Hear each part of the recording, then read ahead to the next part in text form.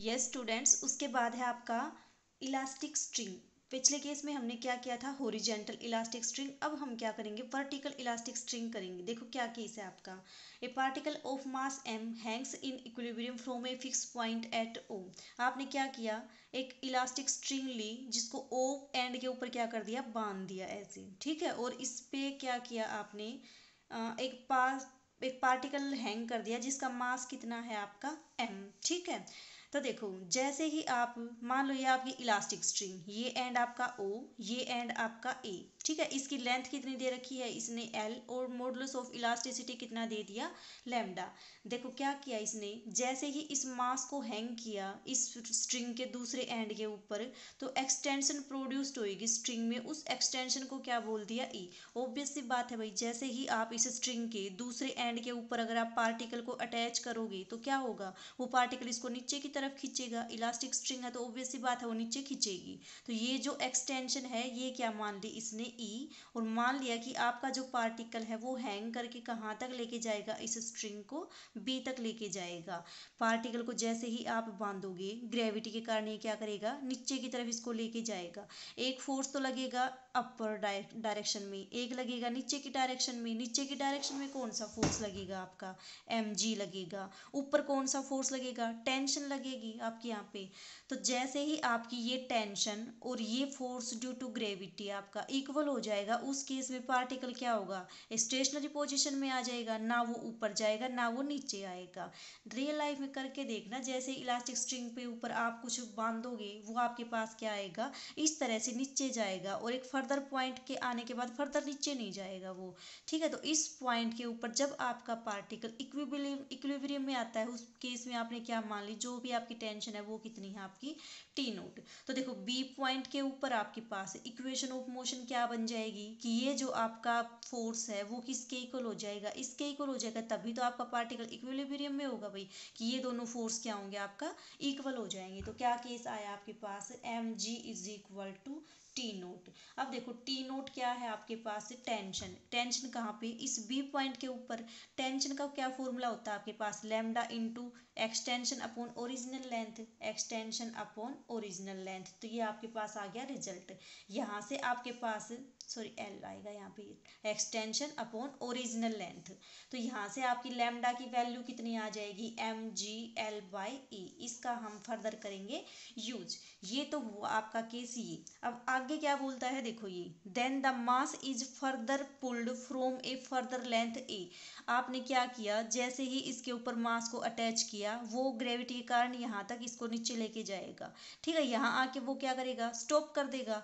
जैसे ही आपका पार्टिकल यहाँ पे नीचे जाना फर्दर बंद कर दे तो आप क्या करोगे, इसको फिर से नीचे खींच दोगे। कितना नीचे खींचोगे ए लेंथ तक इसको नीचे खींचोगे। अब देखो, जैसे ही आप इसको नीचे खींचोगे, एक फोर्स तो लगेगा एम जी यहाँ पे दूसरा क्या लगेगा? इस जो आपकी इलास्टिक स्ट्रिंग है, उसमें क्या होगी? ये उसको इलास्टिसिटी के कारण इसको ऊपर लेके जाने की कोशिश करेगा। इलास्टिसिटी यही प्रॉपर्टी तो होती है भाई कि ये जो आपकी इलास्टिक स्ट्रिंग है, वो वापस से क्या करेगी? अपनी पोजिशन को रिगेन करने की कोशिश करेगी। रिगेन करने की कोशिश करेगी तो क्या करेगी? एक फोर्स लगाएगी अपवर्ड डायरेक्शन में। वो फोर्स आपका क्या लगेगा? टी लगेगा। अब देखो ये जितना पार्टिकल आपका नीचे आया है, जैसे ही आप इसको यहाँ तक लेके आओगे सी पोजीशन तक, और इसको आप छोड़ोगे, ये क्या करेगा? ऊपर जाएगा। ऊपर जाएगा, यहाँ तक आएगा, यहाँ तक तो आपके पास क्या लगेगी? ये टेंशन जैसे ही इस पॉइंट के ऊपर आएगा, इसकी ये जो टेंशन है, वो क्या हो जाएगी? ख़त्म हो जाएगी। फिर इसके ऊपर क्या लगेगा? ये एम जी फोर्स लगेगा। जैसे ही पार्टिकल आपका ऊपर मूव करेगा तो देखो, वो आपका मोशन में आ चुका है। इस पॉइंट के ऊपर आके टेंशन तो हो जाएगी आप आपकी ज़ीरो। लेकिन वो जो वेलोसिटी के मोशन में आया है आपका पार्टिकल उसके कारण ये तो है नहीं कि वो यहाँ पे स्टॉप होगा। उस मोशन के कारण ये फर्दर भी तो थोड़ा ऊपर जाएगा और वो कितना ऊपर जाएगा, जितना ये नीचे आया है ए डिस्टेंस वो, ये इतना ऊपर जाएगा फिर। तो इसका मतलब इस पॉइंट के अबाउट आपका ये किसमें मूव करेगा? सिंपल हार्मोनिक मोशन में मूव करेगा। ये पॉइंट क्या है आपका? बी इस पॉइंट के अबाउट आपका पार्टिकल किस मोशन में मूव करेगा? सिंपल हार्मोनिक मोशन में मूव करेगा। अब देखो आपके पास क्या क्या आ गया। जैसे ही आपका पार्टिकल आपने फर्दर पुल किया तो मान लिया कि एक पोजीशन है यहाँ पे पॉइंट पी ठीक है? और ये डिस्टेंस कितना है आपका एक्स ठीक है? अब क्या करोगे आप? इस पॉइंट के ऊपर अगर आप इक्वेशन ऑफ़ मोशन देखोगे तो वो क्या आ जाएगी आपके पास? Mass into acceleration is equal to total force mass कितना है आपका? एम टोटल एक्सलेशन कितना हो जाएगा? D two x over d t square is equal to net force कितना होगा इस पॉइंट के ऊपर? एक तो एम जी फोर्स आपका, दूसरा कौन सा? टी फोर्स एम जी कहाँ पे है? नीचे. टी किस डायरेक्शन में है? अपवर्ड डायरेक्शन में. तो क्या बन जाएगा ये आपका? एम जी माइनस टी अब देखो एम जी तो आपका एज इट इज़ टी कितना हो जाएगा? लेमडा इंटू टी क्या है आपके पास? टी तो आपके पास टेंशन है। टेंशन क्या हो जाएगी? Lambda into extension upon original length अब इस पॉइंट तक आपकी एक्सटेंशन कितनी हो जाएगी? ई e डिस्टेंस तो ये एक्स डिस्टेंस ये। तो एक्सटेंशन कितनी होगी आपके पास? ई प्लस एक्स और ओरिजिनल लेंथ कितनी थी आपके पास? एल थी। लेमडा की वैल्यू आपने निकाल रखी है। पुट करके इसको सोल्व कर लेना। क्या आएगा? देखो रिज़ल्ट डायरेक्ट लिखती हूँ मैं जैसे ही इसको सोल्व करोगे, आपके पास ये क्या आ जाएगा? माइनस जी बाई ई अब देखो, माइनस जी बाई ई को अगर आप म्यू पुट कर देते हो तो ये किसकी इक्वेशन बन जाएगी आपके पास? सिंपल हार्मोनिक मोशन की इक्वेशन बन जाएगी। इसका मतलब आपका जो पार्टिकल है बी पॉइंट के रिस्पेक्ट में क्या है आपका? सिंपल हार्मोनिक मोशन में है ठीक है? अब देखो, जो आपका ए लेके चले हो, वो लेस देन ई है। और आपका जो पार्टिकल है, जैसे ही आप इसको छोड़ोगे रिलीज़ करोगे यहाँ से, वो कितना डिस्टेंस जाएगा यहाँ? ए डिस्टेंस तक जाएगा। तो जो आपका पार्टिकल है वो इस ए पॉइंट को कभी भी क्रॉस नहीं करेगा। ठीक है?